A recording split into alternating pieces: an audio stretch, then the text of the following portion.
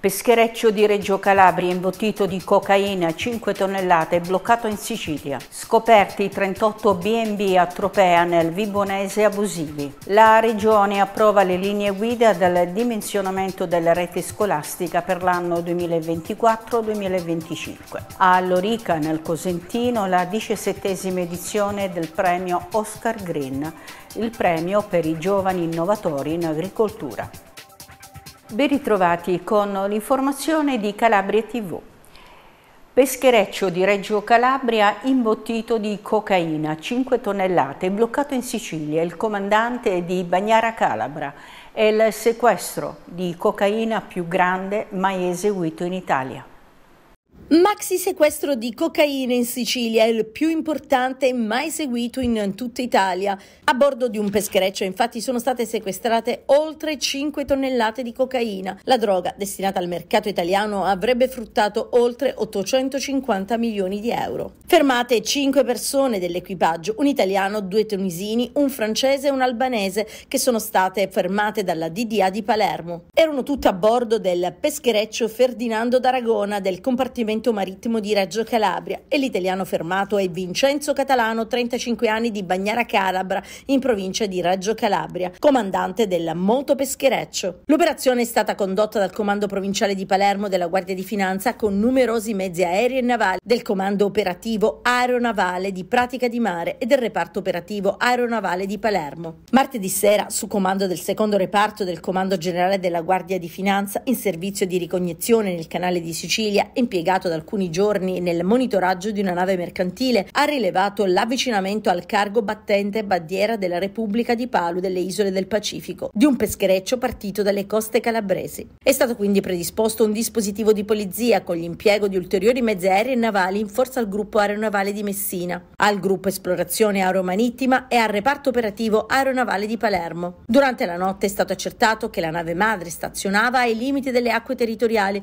dove aspettava il peschereccio verosamente presumibilmente per un trasbordo illecito. Ieri poi la registrazione delle anomale operazioni di accumulo di numerosi pacchi sul ponte della nave madre che poi sono stati scaricati in mare mentre si avvicinava il peschereccio italiano. Nel frattempo aveva disattivato il sistema di localizzazione ICE per recuperare il carico gettato in mare. Subito entrati in azione i finanziari hanno bloccato il peschereccio che stava facendo rientro verso le acque territoriali a bordo del quale, occultato dietro una pannellatura che celava un ampio locale, è stato scoperto l'enorme quantitativo di stupefacente. Le unità navali del corpo hanno inseguito la nave mercantile che nel frattempo stava cercando, senza successo, di riprendere il largo in direzione della Turchia. Il peschereccio è stato scortato al porto di Porto Empedocle, mentre la nave madre, con l'equipaggio composto da 15 persone, è stata scortata dai mezzi navali verso il porto di Palermo. La Guardia di Finanza ha scoperto 38 B&B irregolari a Tropea con la collaborazione della Polizia Locale della nota località turistica calabrese nell'ambito del contrasto all'evasione e all'abusivismo nel settore turistico ricettivo. Internet e il mondo dell'online sono una grandissima opportunità sia per chi deve vendere sia per chi deve acquistare, ma come in ogni tipo di transazione esistono possibilità di truffa che non sempre sono a danno del cliente, ma senz'altro a danno dell'erario e dello Stato, come ad esempio i 38 bed and breakfast completamente abusivi che le fiamme gialle della tenenza di Tropea, nell'ambito di un'attività svolta al contrasto dell'evasione e all'abusivismo nel settore turistico e ricettivo, hanno scovato nella perla del Tirreno. Queste strutture, pur essendo sistematicamente pubblicizzate sui siti internet specializzate, sono risultate non in regola con il fisco perché non avevano mai dato corso alla denuncia di inizio attività presso gli uffici comunali, omettendo di conseguenza il pagamento dei tributi locali come l'IMU, la Tari e l'imposta di soggiorno. I finanzieri hanno potuto individuarli grazie ad un'attività di analisi incrociando i dati presenti nelle banche dati del corpo con le informazioni rilevate sui siti internet e sui social network, acquisendo informazioni sul numero delle stanze, i prezzi praticati, le recensioni e i feedback ricevuti dai clienti. Notizie confermate da appostamenti mirati che hanno avvalorato l'esercizio abusivo dell'attività ricettiva. Ai titolari di queste strutture abusive sono state contestate sanzioni amministrative fino a 38.000 euro per l'esercizio dell'attività ricettiva in assenza delle prescritte autorizzazioni. Ennesima vittima della strada, ha perso il controllo della moto ed è andato a sbattere contro un palo. Tragedia a Castrovillari, sul rettilineo di Via del Cerviero, a pochi passi dal Tribunale. Giuseppe Pugliese, di soli 16 anni, era a bordo della sua moto, una Yamaha, quando, per cause ancora in corso di accertamento, perso il controllo del mezzo, finendo contro un palo della pubblica illuminazione. Le sue condizioni sono apparse subito disperate al punto da rendere necessario l'intervento dell'elisoccorso che eh, lo ha trasportato presso l'ospedale Annunziata di Cosenza, ma i tentativi di rianimarlo sono stati purtroppo vani. Sequestrati all'aeroporto internazionale di Lamezia Terme orologi e borse contraffatti, trasportati nel bagaglio di un viaggiatore proveniente da New York e in transito da Roma. Sono stati sequestrati quattro orologi e cinque borse contraffatti. Al trasgressore è stata applicata l'ammenda prevista dal nuovo trattamento sanzionatorio applicabile ai casi di introduzione nel territorio dello Stato di merci che violano diritti di proprietà intellettuale. Le perizie condotte sugli orologi che riproducevano dei prestigiosi marchi hanno evidenziato il tentativo di spacciarli per prodotti originali con un valore commerciale che si aggirerebbe intorno ai 25.000 euro. Anche le borse griffate, nonostante il tentativo di renderle molto simili alle originali per caratteristica, struttura, veste grafica, dimensione dei marchi a seguito di perizia, si sono in realtà rivelate contraffatte. Lega Ambiente con Goletta Verde hanno fatto un blitz nello stretto di Messina diffondendo un dossier per dire no al ponte sullo stretto.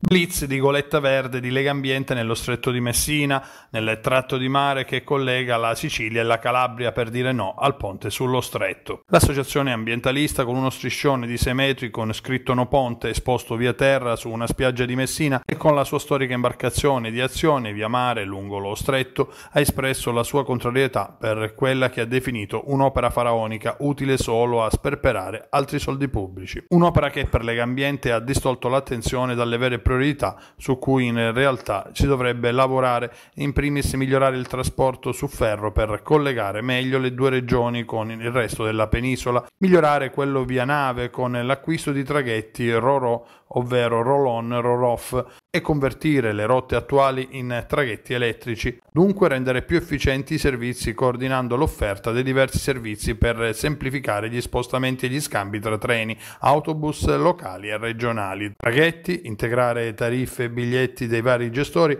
migliorando l'offerta di viaggio per i pendolari con costi minimi per le casse pubbliche. È durata 24 ore la fuga di Francesco Sapone, il 42enne che nella notte tra mercoledì e giovedì a Reggio Calabria avrebbe investito con la sua auto due persone, uccidendo un ragazzo di 27 anni di nazionalità marocchina. La tragedia si è consumata nel piazzale della stazione di servizio Kuwait sulla statale 106. L'uomo, già noto alle forze dell'ordine, si nascondeva a Motta San Giovanni, nei pressi dell'abitazione del suocero. La polizia aveva trovato la sua auto utilizzata per investire la vittima e un altro cittadino italiano che è rimasto ferito. Il 42enne è stato sorpreso da una pattuglia delle volanti mentre si trovava per strada, intento a bere ad una fontanella pubblica. Si è conclusa un'attività ispettiva per la depurazione presso l'area industriale di Lamezia Terme, ex SIR, da parte dei carabinieri della compagnia di Lamezia, il personale del Dipartimento Ambiente della Regione e i tecnici dell'ARPACAL. I carabinieri e Arpacal hanno eseguito dei controlli ai depuratori. Si è infatti conclusa un'attività ispettiva presso l'area industriale di Lamezia Terme, ex SIR, che ha visto operare sul campo sia i carabinieri della compagnia di Lamezia Terme che il personale del Dipartimento Ambiente della Regione Calabria e dell'Agenzia regionale per la protezione dell'ambiente della Calabria. L'attività è consistita nell'esecuzione di controlli sia analitici che documentali su alcuni siti presenti sull'area e in particolare sul depuratore di reflui urbani di Lamezia Terme nel quale giungono i reflui di depurazione provenienti da quasi tutte le attività produttive di tipo industriale della zona. Per accertare l'effettiva funzionalità dei processi di depurazione e scongiurare quindi la possibile emissione nelle acque marine di sostanze inquinanti, i tecnici hanno effettuato dei prelievi necessari per controllare la conformità dei parametri relativi alle acque in uscita e a quelle in entrata per verificare l'eventuale immissione nel processo di depurazione di sostanze che poi possano interferire con la funzionalità dell'impianto. L'attenzione dei tecnici dell'arma dei carabinieri si è concentrata sul canalone che scorre a fianco dell'insediamento industriale, le cui acque giungono direttamente in mare, nel quale sono stati effettuati dei prelievi in vari punti, allo scopo di verificare la presenza di inquinanti ambientali che, se presenti, potrebbero essere la causa di molte delle problematiche che si registrano, specialmente in estate, sulla costa lametina. Le analisi verranno poi eseguite dai laboratori bionaturalistico e chimico del Dipartimento Arpacale di Catanzaro.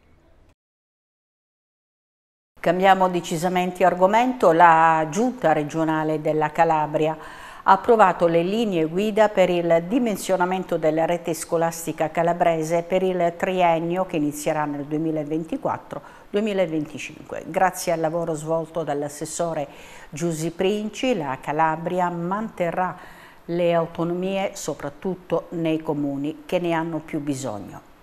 Le abbiamo appena approvato, devo mm, fare un grande ringraziamento alla vicepresidente Princi perché siamo riusciti ad ottenere un risultato straordinario. Molte regioni si erano lamentate del fatto che la normativa nazionale ponesse alcune regioni, soprattutto quelle del sud, eh, nella condizione di ridurre il numero di autonomie.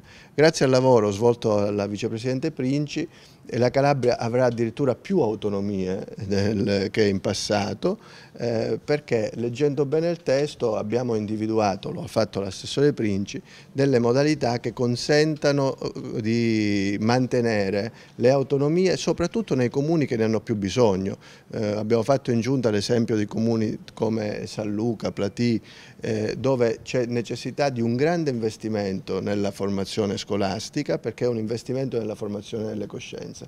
È la dimostrazione del fatto che quando le regioni lavorano in leale collaborazione col governo, soprattutto quando le regioni hanno assessori così bravi come la vicepresidente Princi, eh, i problemi si risolvono con grande beneficio per i cittadini anche nell'ambito della scuola. Intanto c'è da puntualizzare che l'ultimo dimensionamento scolastico della Calabria risale al 2012, quindi è stata una concertazione importante che, ha, eh, che noi abbiamo già attivato nei mesi precedenti con il mondo sindacale, con l'USR, per cui il documento ha trovato l'avallo di tutte quante le componenti, è stato elaborato con il Dipartimento Istruzione e Formazione che ringrazio e va, come diceva il Presidente, ad abbattere quelli che sono i vincoli dimensionali che sappiamo quest'anno, eh, dopo il periodo della proroga legata al Covid, erano di 600 e 400. Noi invece con il numero delle autonomie che ci sono state assegnate a livello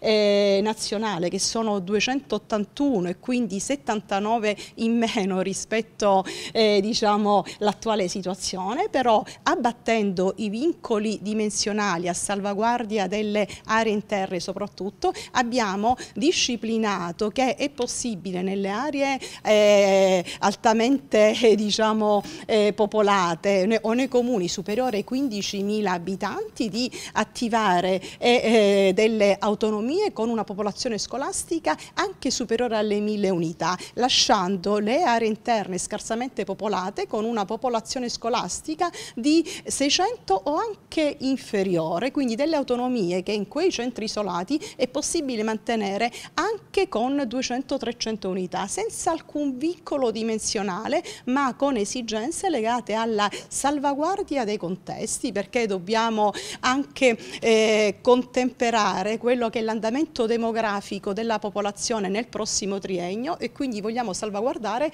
quelle realtà interne che rischierebbero lo spopolamento e quindi è stata un'operazione strategica perché vogliamo andare a ridurre i divari territoriali nella nostra regione, la dispersione scolastica vogliamo che venga abbattuta, compresa la povertà educativa. In tal senso che cosa prevedono le linee guida? Che si intervenga anche sull'offerta formativa, che venga altamente calibrata a quelle che sono le vocazioni dei territori, quindi con possibilità che noi daremo con il nuovo documento di costituire dei poli liceali, dei poli tecnici professionali, dei poli educativi, prevedendo anche i servizi dell'infanzia, perché sappiamo la situazione anche in tal senso come critica. E allora attraverso questa opportunità di seguire le potenzialità dei territori noi andremo a curvare gli indirizzi a quella che è appunto la, eh, il potenziale, l'esigenza appunto degli stessi territori. C'è tanto da fare, ma siamo sulla buona strada e quanto afferma il sindaco di Bagnara Calabra, Done Pistolesi, sentito da Graziano Tomarchio. Sindaco, stagione 2023, ecco, Bagnara possiamo dire che è una città a vocazione turistica? Allora, a vocazione sicuramente, è stata sempre a vocazione turistica. Naturalmente questo paese deve recuperare le posizioni che negli ultimi decenni ha perso purtroppo per varie problematiche e quindi si parla di turismo quando si è in grado poi alla fine di poter garantire i servizi primari. Cioè, abbiamo strutture, abbiamo la ristorazione, abbiamo oh, la ricettività di molti B&B, dei nostri alberghi.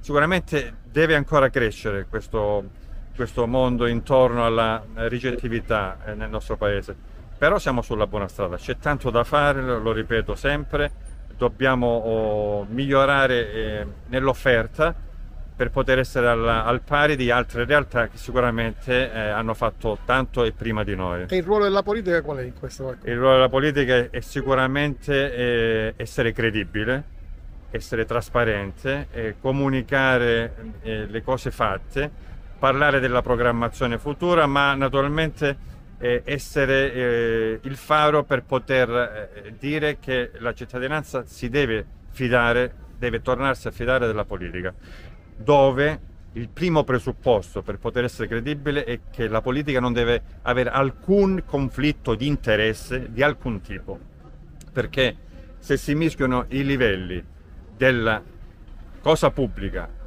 dalle cose private, naturalmente la, la, politica non può tornare ad avere quella credibilità che gli appartiene. Però la sinergia tra politica e imprenditori... Assolutamente sì, sui livelli dove praticamente eh, l'ente, la politica deve rappresentare l'interesse di una comunità, all'interno della quale devono poter essere rappresentati al meglio tutti eh, quelli che sono gli aspetti eh, eh, economici, commerciali. Naturalmente con livelli separati, quindi vedere insieme quali sono i passi per migliorare, ma nell'interesse della comunità che non sempre poi si sposa con quelli esclusivamente della, delle attività commerciali, insomma, eh, bisogna conciliare il tutto. Sindaco, parliamo di mare, eh, il lancio del, di qualche giorno fa del Presidente della Regione, chiedo a voi sindaci, sì. eh, depurazione e quant'altro, oggi il, la salute, lo stato di salute del mare di Bagnara com'è? Allora, io proprio l'altro giorno ho fatto un sopralluogo senza preavviso, nel nostro impianto di depurazione che è qui in località Cacilì di Marianella. l'ho voluto fare esclusivamente per il motivo di tranquillizzare la mia comunità e che ha potuto vedere eh, in tutte le fasi di lavorazione di un impianto di depurazione che purtroppo però è di prima generazione, ha più di 40 anni e sicuramente in prospettiva ci sarà bisogno di, di fare un'opera strutturale, infrastrutturale nuova, di nuova generazione che possa garantire ancora di più però sicuramente fino all'altro giorno l'hanno visto tutti, l'impianto è funzionante e dalle acque che venivano depurate e che poi vanno a finire nella, nel canale esterno, diciamo sottomarino, posso garantire che l'impianto sta funzionando. A Lorica, nel Cosentino, presso Brillo Parlante sul lago Arvo, premio Oscar Green, giunto alla diciassettesima edizione per giovani imprenditori agricoli under 40, provenienti da tutta la regione che hanno presentato le realizzazioni dei propri lavori, delle imprese nel settore agricolo e agroalimentare. Una veduta mozzafiato, il lago di Arvo, ha fatto da sfondo al brillo parlante di Lorica nel Cosentino per l'appuntamento col premio Oscar Green, la finale regionale che si è tenuta nel Cosentino per dare spazio a giovani imprenditori under 40 che hanno presentato le realizzazioni del proprio lavoro, del proprio impegno nel settore agricolo e agroalimentare Giovani imprenditori che sono distinti per innovazione hanno contribuito a rendere sempre più dinamico il comparto agricolo calabrese. Oscar Green è il premio promosso da Coldiretti Giovani Imprese arrivato alla diciassettesima edizione che punta a valorizzare il lavoro di tanti giovani che hanno scelto per il proprio futuro l'agricoltura e l'agroalimentare. In tutto sei le categorie in concorso, campagna amica, fare filiera, impresa digitale, coltiviamo la solidarietà, custodi d'Italia, energie per il futuro e sostenibilità. I progetti imprenditoriali che sono stati presentati per le varie categorie in concorso alla finale regionale sono stati in tutto 42 e veniamo ai vincitori.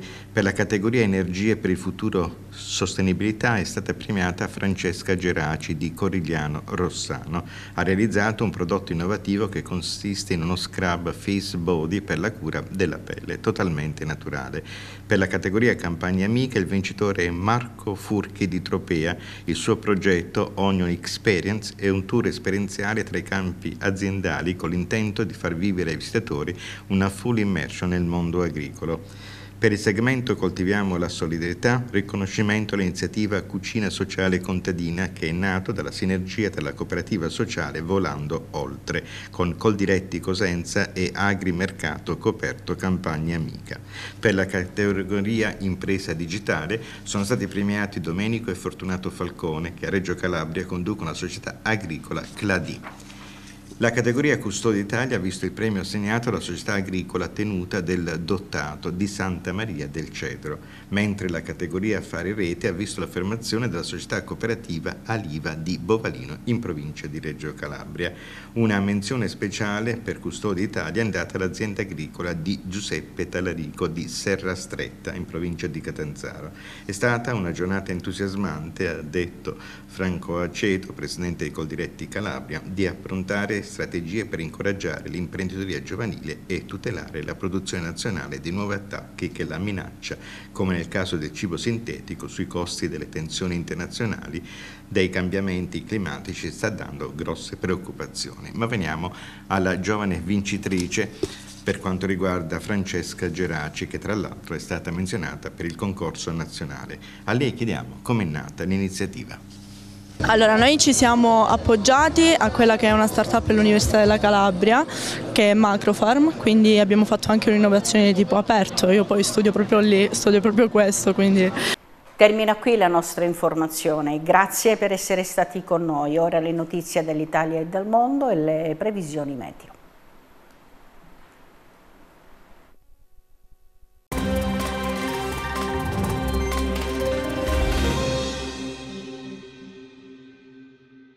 Patrick Zacchi partirà domani dal Cairo diretto a Milano Malpensa con un aereo di linea di una compagnia egiziana. Il ricercatore ha rifiutato il volo speciale che era stato messo a disposizione del governo italiano e non intenderebbe incontrare né farsi assistere da autorità dell'esecutivo di Roma.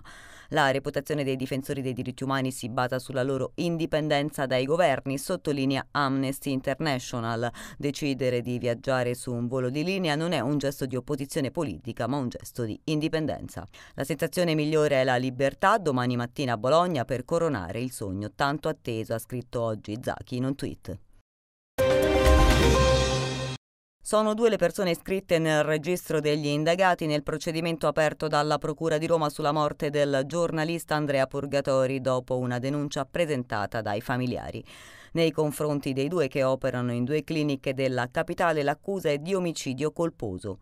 Intanto, mentre i PM dovrebbero affidare la prossima settimana l'incarico per effettuare l'autopsia, parallelamente gli inquirenti stanno acquisendo, affidando l'attività ai carabinieri del NAS, tutto il materiale, comprese le cartelle cliniche dove Purgatorio è stato in cura. Si tratta sia di strutture private che pubbliche.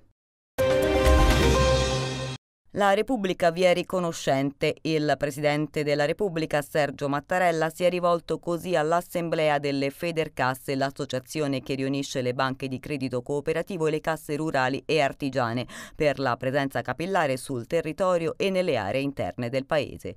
È significativo, ha sottolineato il Capo dello Stato, sapere che i cittadini di 723 comuni hanno come unica presenza bancaria una banca cooperativa e che un terzo degli sportelli è collocato collocato in comuni delle cosiddette aree interne. Si tratta di una funzione economica e sociale, un impegno nel solco dell'applicazione delle norme della Costituzione. Il clima di luglio continua ad essere caratterizzato da fenomeni climatici estremi e a dipingere un'Italia piegata sia dal caldo estremo al centro e al sud e al nord-est, flagellata da piogge monsoniche con forti precipitazioni e chicchi di grandine grossi come palle da tennis che hanno causato ingenti danni e feriti. A Verona un uomo è stato ricoverato in gravi condizioni dopo essere stato colpito da un fulmine, mentre in provincia di Novara una donna è stata ferita gravemente da un albero caduto. A Gorgonzola Viola nel milanese una tromba d'aria ha scoperchiato tetti e divelto piante. Il maltempo imperverserà al nord anche nel weekend, al centro è invece previsto un calo delle temperature massime, mentre il sud resterà nella morsa dell'anticiclone africano. Notte da incubo per Gianluigi Donnarumma, il portiere della nazionale italiana e del Paris Saint-Germain e la sua compagna Alessia Elefante sono stati aggrediti, legati e derubati da quattro uomini che hanno fatto irruzione nella loro casa. I ladri sarebbero scappati con un bottino di circa 500.000 euro. I due fidanzati sarebbero poi andati in un albergo e quindi dopo la denuncia portati in ospedale. La brigata per la repressione del banditismo della polizia giudiziaria parigina ha già già aperto un'indagine su questa vicenda.